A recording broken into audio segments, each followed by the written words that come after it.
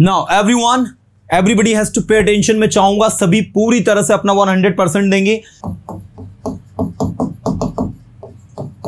Practice session भाई, आज का ये जो प्रैक्टिस सेशन है, इसमें मेनली जो मैं सेंटेंस पूछूँगा it would be based on Pesi use specially मैं चाहता हूँ कि एक एक सेंटेंस को आप कॉन्फिडेंटली ट्रांसलेट करें। I may ask you W sentence some तो इट्स अप टू मी कि मैं आपसे क्या पूछूँ, है ना? चलिए, मैंने कहा द फ़र्स्ट सेंटेंस इज़ इस काम को कल किया जाएगा.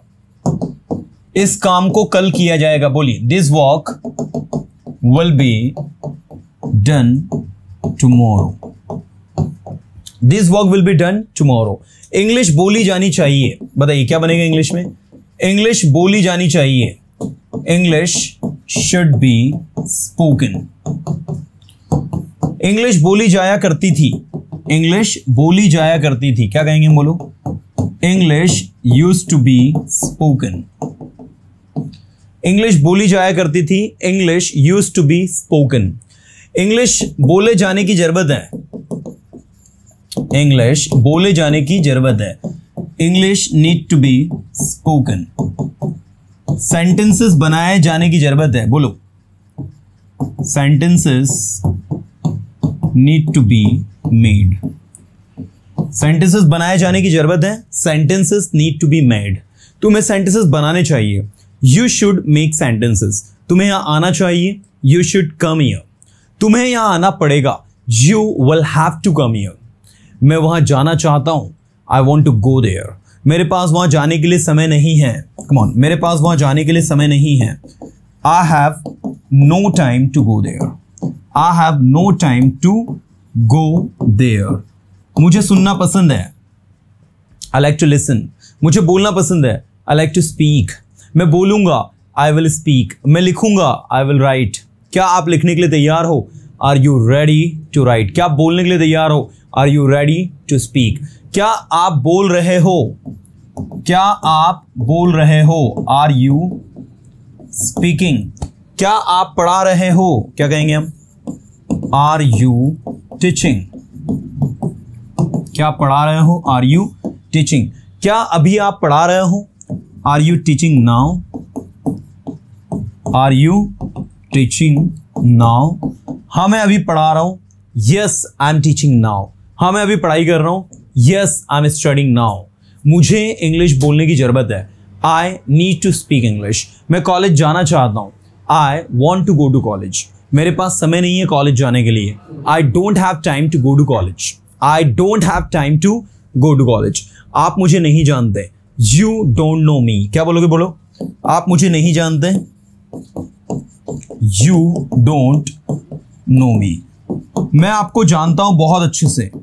I know you very well एक बार बोलो सभी. मैं आपको बहुत अच्छे से जानता हूँ. I know you very well मैं आपके बारे में सब कुछ जानता हूँ. I know everything about you क्या बोलोगे बोलो? I know everything about you क्या आप जानते हो मैं क्या कर रहा हूँ? क्या आप जानते हो मैं क्या कर रहा हूँ? डू यू नो मैं क्या कर रहा हूँ? What I am doing do you know what I am doing मुझे पता है मैं क्या कर रहा हूँ. I know what I am doing मुझे पता है आप क्या कर रहे हो. I know what you are doing आपको बोलना चाहिए जो आप बोल सकते हो. You should speak what you can बोलने की कोशिश करो ट्राई टू स्पीक लिखने की कोशिश करो ट्राई टू राइट मैं वहाँ जाया करता था। I used to go there मैं इंग्लिश पढ़ाया करता था। I used to teach English मेरे पास इंग्लिश पढ़ाने के लिए समय है। क्या कहोगे? I have time to teach English मेरे पास इंग्लिश पढ़ाने के लिए समय था। पास्ट में क्या कहोगे? I had time to teach English मेरे पास इंग्लिश पढ़ाने के लिए समय होगा। I will have time to teach English सोचो और बोलो। थिंक एंड स्पीक पहले सोचो, फिर बोलो। फ़र्स्ट थिंक देन स्पीक क्या आप सोचते हो? डू यू थिंक क्या आप बोलते हो? डू यू स्पीक क्या आपको बोलना पड़ता है? Do you have to speak देखिए जब आप एक एक सेंटेंस को केयरफुली सुनते हो ना, और उसको अपने लैंग्वेज में ट्रांसलेट करने की कोशिश करते हो तो इससे आपकी बहुत ज़्यादा हेल्प होती है है ना? देखो, अभी आपसे मैं कुछ रैंडम सेंटेंस पूछ रहा हूँ पेसी वाइज वाले। मैंने कहा, बच्चों को स्कूल भेजा जा रहा है। चिल्ड्रन आर भेजा जा रहा है। बिंग सेंट टू स्कूल बच्चों को स्कूल भेजा जा रहा है तो children are being sent to school PC में प्रेजेंट कॉन्टिन्यूस टेंस का है? नेक्स्ट बच्चों को कल से स्कूल भेजा जाएगा। क्या कहोगे इंग्लिश में? बच्चों को कल से स्कूल भेजा जाएगा। Children will be sent to school from tomorrow from tomorrow मतलब क्या होगा? कल से। यहाँ पर बच्चे जो है वो ऑब्जेक्ट है। बच्चों को रोज स्कूल भेजा जाना चाहिए। चलो, क्या आता है आपके दिमाग में?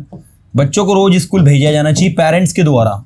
Children should be send to school regularly या डेली बाय पेरेंट्स यहाँ पर आपको बताना चाहूँगा बाय पेरेंट्स जो है वो सब्जेक्ट है। अगर आप इसका एक्टिव वॉइस बनाते हैं तो सेंटेंस बनेगा पेरेंट्स को बच्चों को रोज स्कूल भेजना चाहिए। तो पेरेंट्स शुड सेंड चिल्ड्रन या पेरेंट्स शुड सेंड आएगा सेंड नहीं आएगा send school to children regularly ठीक है।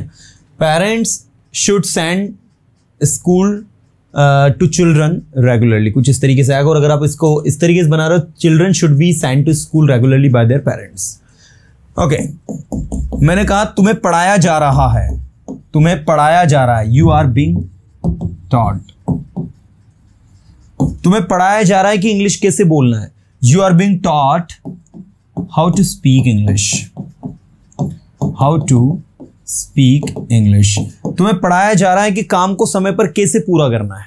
You are being taught how to complete the work on time तुम्हें पढ़ाया जा रहा है कि काम को कैसे समय पर पूरा करना है। You are being taught how to complete the work on time तुम्हें इंग्लिश सीखने की ज़रूरत है।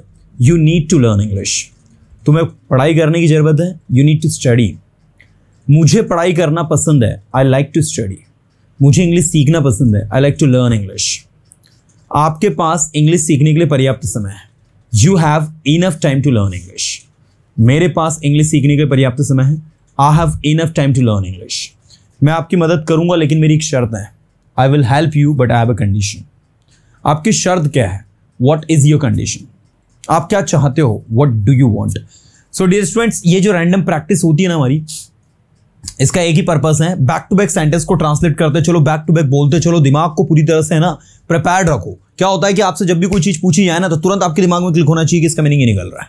अभी जो हाउ टू क्वेश्चन भी हमारे चल रहे हैं ना तो उसमें भी हमको यही करना होता है।